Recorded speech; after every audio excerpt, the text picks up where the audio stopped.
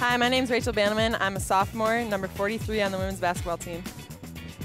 I would say the biggest adaptation I've had to make as a player is to be more versatile. Because in high school, I was a lot bigger than everyone, and it's a lot slower pace of a game, and I was used to playing like a fast-paced game like an AAU, so I definitely had to adjust to the speed of the game and the size of the players I was playing against.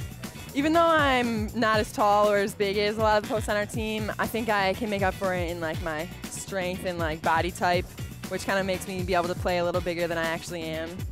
I would say definitely perimeter shooting would be the biggest thing that I would like to work on to be able to like step out and hit the three more consistently and then go inside also and be an impact inside. Rachel is one of the hardest working players we have on this team. You know, she goes 100% at everything she does and we really respect and admire that.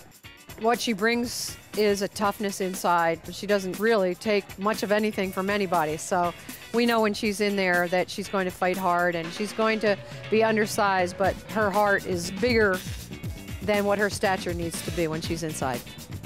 Well, I'm actually a junior in the School of Communication, so I'm going to graduate after next year. And I am looking at getting my master's in communication probably one of my favorite parts about going to UB is being so close to home.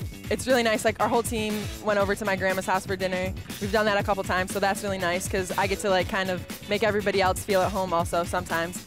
And it's just great to be able to look up in the stands and see my family there supporting me and my team.